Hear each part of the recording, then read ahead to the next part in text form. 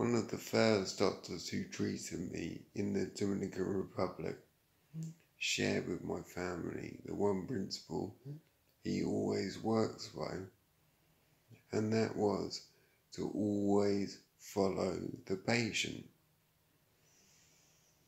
I mean, the idea is we can never predict how far a person, organisation, or community will go in taking action for themselves after disaster. So, why would we not let them have their own decisions and own goals in their own recovery?